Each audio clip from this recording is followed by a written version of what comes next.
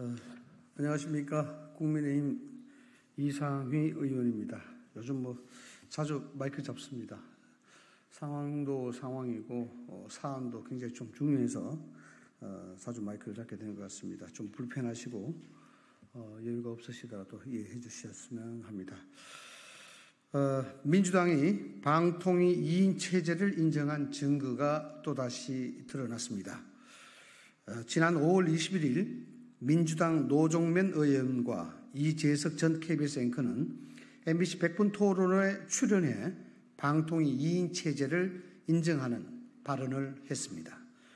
방통위 2인 체제에는 아무런 법적 실제적 문제가 없다는 것을 민주당도 알고 있음에도 불구하고 방통위 2인 체제를 유지하여 방통위원장 탄핵의 빌미로 삼고자 고의적으로 방통위원 추천을 하지 않았다는 본심이 드러난 것입니다.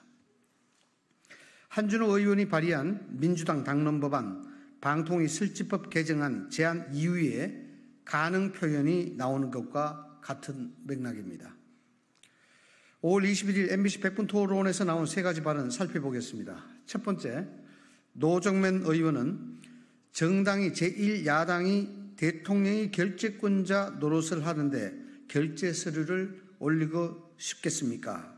라고 말했습니다. 어,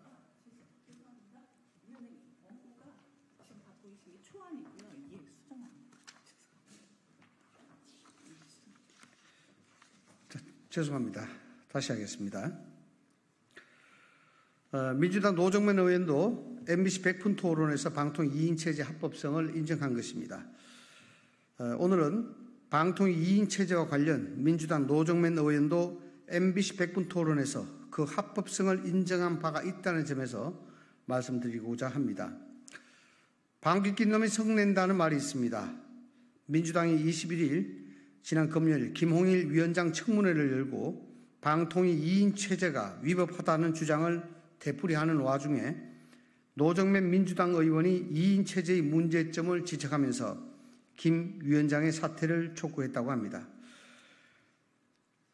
지난 5월 21일 MBC 100분 토론회에 나온 민주당 노정면 의원과 국민의힘 홍석준 의원과의 대화를 들어보면 다음과 같습니다. 노정면 의원입니다. 일반적으로 다섯 명이 정원인데 두 명이 나오면 회의가 성립 안 되는 게 상식적으로 배우지 않습니까? 우리 학교에서부터 그렇게 배웠어요. 홍석준 의원입니다. 법상으로 나오는 건데 노정면 의원입니다.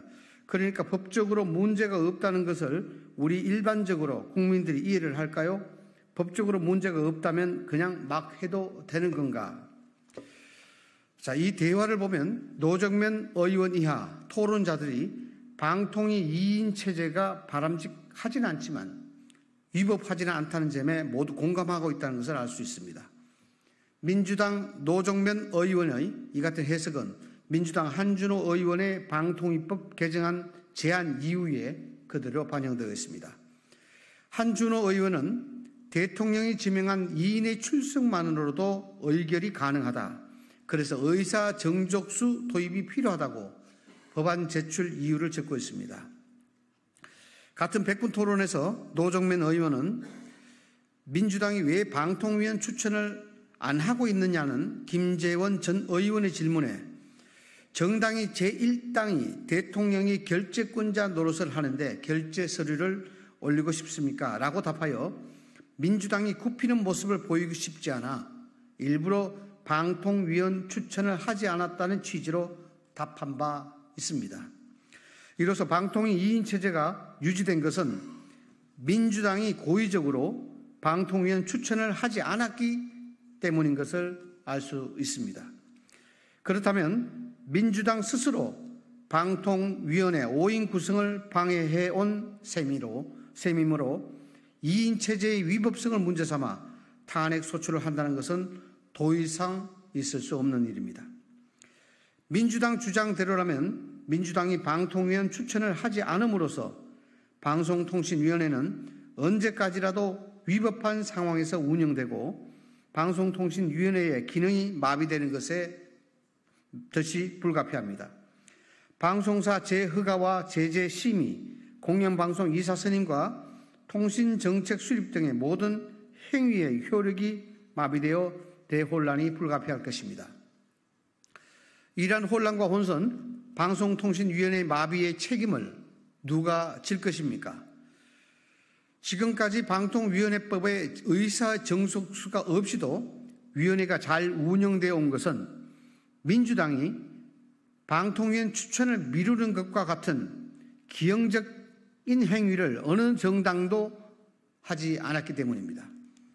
민주당은 이제 모순투성인 방통위 2인 체제 불법성 주장을 거두고 조속히 방통위원 추천에 착수하시기 바랍니다. 감사합니다.